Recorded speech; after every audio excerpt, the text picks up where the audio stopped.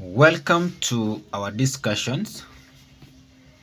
We are presenting a question that was done in KCSE 1998, Chemistry Paper 2, and the first part of the question reads, An ore is suspected to contain mainly iron. Describe a method that can be used to confirm the presence of iron in the ore. The only way we are going to confirm the presence of iron in the ore, it is to carry out what we call cation test. So as part of the answer to this question, we are going to first take the sample of the ore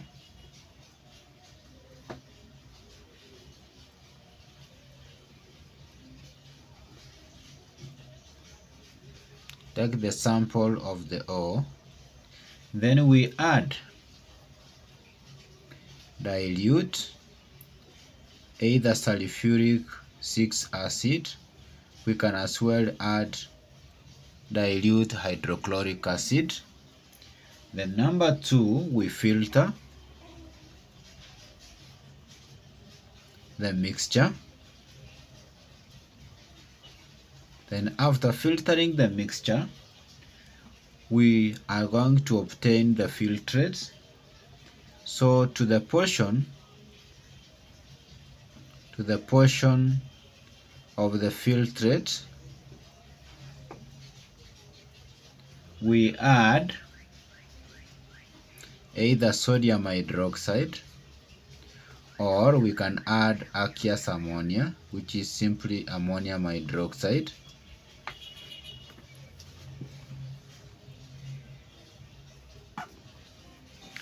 After that, we simply add dropwise until excess. Then in this case, you are likely to see either a dirty green precipitate. I'm using uh, the abbreviations because of the spacing. Confirms the presence confirms the presence of iron 2 ions. And this is one of uh, the ways of knowing whether that ore contains iron. We can as well take the filtrate. Then we add either sodium hydroxide or aqueous ammonia dropwise and if you see a brown precipitate, then that confirms the presence of iron 3 ions, which again is the confirmatory test of iron in that particular ore. We go to part B of the question.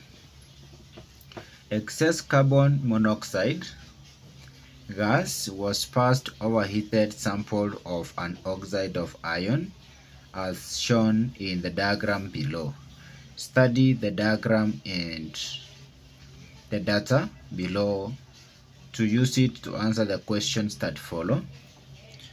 We have carbon 2 oxide going through the combustion tube containing an oxide of iron. Then we have the gases that are going to the fume cupboard Remember what is going to the fume cupboard is excess carbon 2 oxide and that is gotten after the oxide has been completely reduced. From that experiment, we have been given the sample of the results. We have the mass of an empty dish weighing 10.98 grams. We also have the mass of the empty dish plus the oxide of iron weighing 13.30 grams then the mass of the empty dish plus the residue weighing 12.66 grams. Then the first part of the question now requires us to determine the formula of the oxide of iron. We have been given the relative formula mass of the oxide which is 202 the relative atomic mass of iron as 56.0 and that of oxygen as 16 so for us to determine the formula of the oxide the first thing we are going to start by looking at the mass the mass of uh, iron. Okay we can begin by looking at uh, the mass of oxygen. And to get the mass of oxygen we take uh, the mass of an empty dish plus the oxide which is 13.30 we minus the mass of the empty dish plus the residue. The residue represents our iron once oxygen is off and therefore we are going to subtract 12.66 which is going to give us 0.64 that will be the mass of oxygen. Then we get the mass of iron.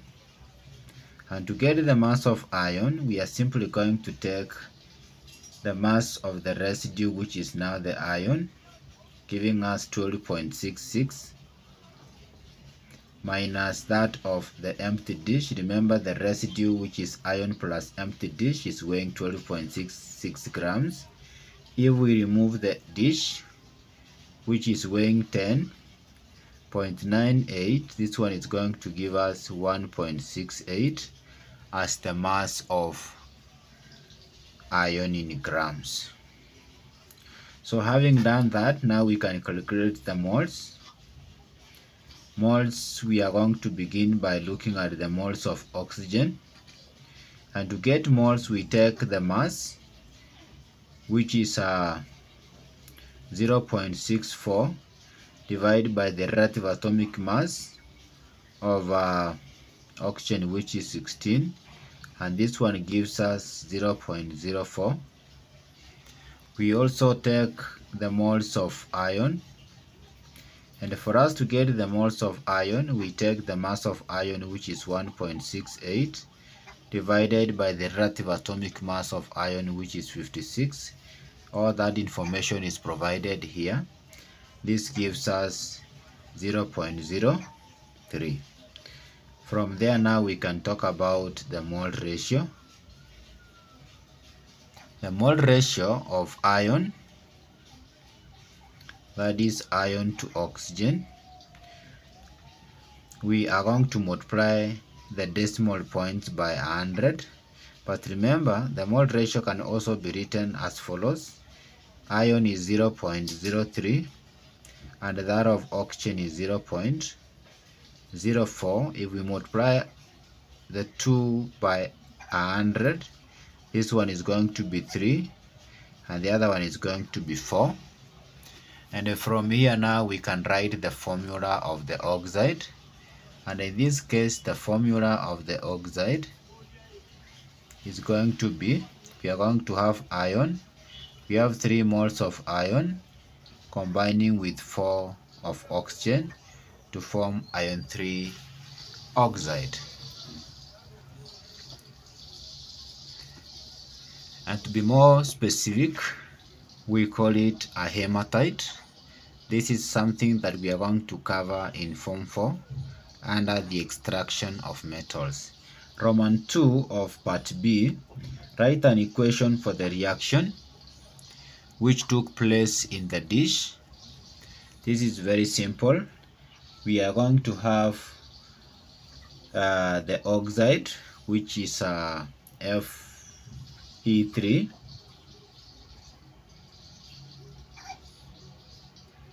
then O4 this is the oxide which is in solid form. We are reducing the oxide using carbon 2 oxide. Remember the carbon 2 oxide being a reducing agent. We reduce the oxide of iron into iron which is a solid. Remember metals are solids at room temperature.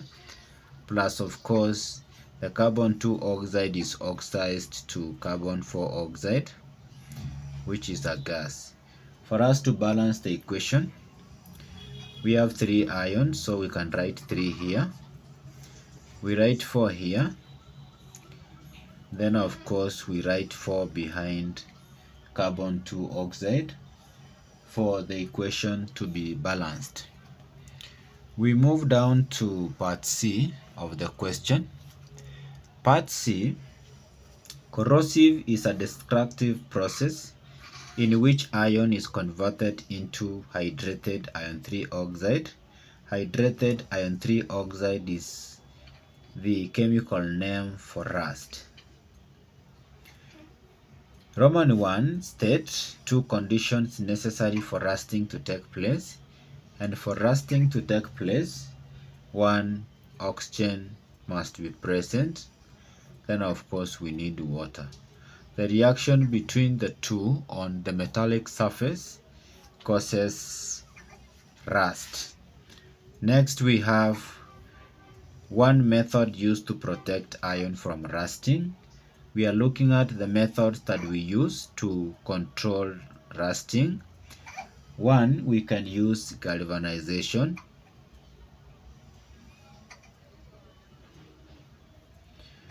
We can use electroplating.